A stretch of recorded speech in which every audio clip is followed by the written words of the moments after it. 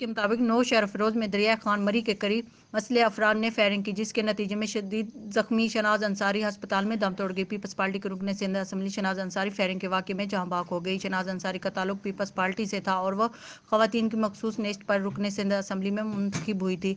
Camera man Saeed के साथ senior reporter Arfa Nasir, mission news, no Sher Firoz.